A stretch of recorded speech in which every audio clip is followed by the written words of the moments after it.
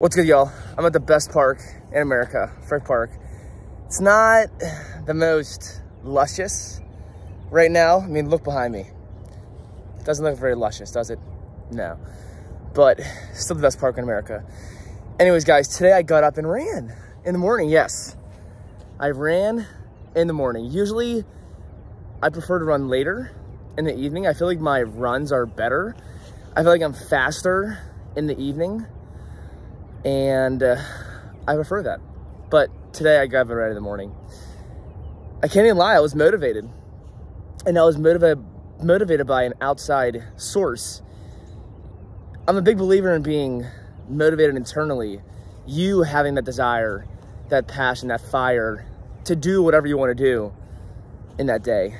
And I can't even lie, I watched a David Goggins video and he is a pretty motivating guy. Now, I guess you could say he's worked himself into the point to where he is. Like, people, a, a lot of people, they don't just, you know, uh, find themselves in that kind of situation. And he's busted his ass. What is he, like a Navy SEAL and, uh, or Marine or whatever?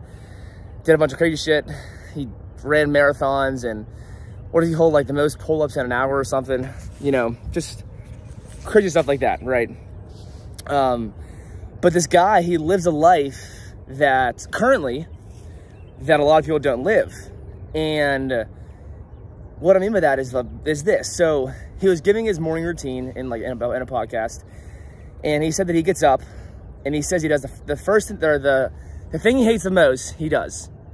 So he gets up and he runs in the morning. I guess he hates running supposedly, but he runs every day. And he says that, he says that he runs minimum 12 miles a day. And I guess sometimes that could take hour and a half, two hours. So he says he does that. And then he comes back, eats a little bit, and then he goes and works out. How many people do you know in your, in your personal life who get up in the morning, have that time to run two hours, eats, come back, chill for a little, eat something, and then go work out for like 45 minutes to an hour, and then come home? Now, I think we could look at everyone's situation and be like, okay, well, if you're going to bed at 8, 8 o'clock and getting up at 4 and you're just running, you just leave your house and run and come home and you, and you have a workout place at your gym, it's pretty doable. But how many people do you know have that or do that or live a life where, you know, they don't have kids or they're not working two jobs and they all this stuff going on. They can just do that. I don't know any. Um, it's, it's a lot of factors that go into uh, living a life like that. So he can do something like that. Um, and then I think he says that he like stretches and does, he meditates at night and he's in bed, he's in bed early every night. Like he doesn't stay up late, he doesn't party, he doesn't do that kind of stuff. Like this is what he does. This is his life. So, um, yeah, anyways, that motivated me to, like, to get up and, and run in the morning. And, uh, I guess it, I guess it's good occasionally to hear that kind of stuff because I do believe that we lack motivation, a lot of us for our goals. And I do think sometimes it is nice hearing other people live their life and uh, seeing what they're doing and having that motivate us. I, I do believe that. And I, I am pretty motivated by outside sources, even though personally in my own life, I'm very motivated myself. Like I have that internal drive. Like I, I got that. Um, and it's not like I wasn't gonna run today if I, um, if I didn't listen to that video, but because I'm a, I, uh, I, I, uh, worked myself into running three times a week, right? Regardless of the weather, regardless of the week, no matter where I am, three times a week. That's it. And, uh, you know, I'll sit on my phone taking a shit for 20 minutes I can't go outside and run for 10 minutes. Like, I have, there's plenty of time in my day to do that. So, um, yeah, but anyways, I guess it's just weird.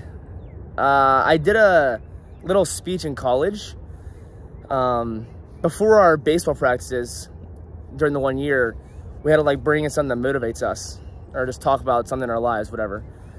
And I brought that up. I brought up saying how you shouldn't just be motivated by a video or by someone online, that you actually have to have that internal motivator. You have to have that internal person talking to you saying, you're gonna fucking do this today. I don't care what you're doing, you're gonna do this today. And um, I, I, I still firmly believe that. Like you shouldn't be, like I don't, like I think if you need, you know, to be like listening to like dudes talking in your ear every single day, I think that's an issue. Like you're motivated, go do it, motivate yourself. But um, hearing this video the other day, I was like, wow, you know, maybe I should try to just get up in the morning one day and just go run, you know. Um, he even says he does it, do that. Sorry.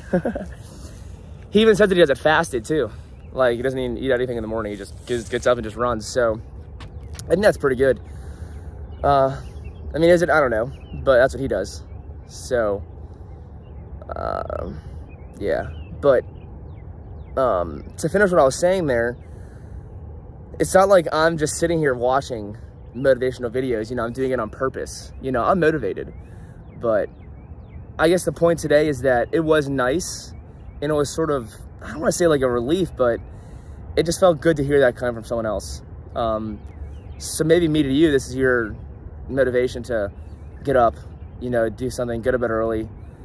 Just today, just today, reach reach your goals, or work on reaching your goals. Not reach your goals. Re work on reaching your goals. Move to reach those goals. So, anyways, with that, guys, stay up, be great. Always keep it 100, baby.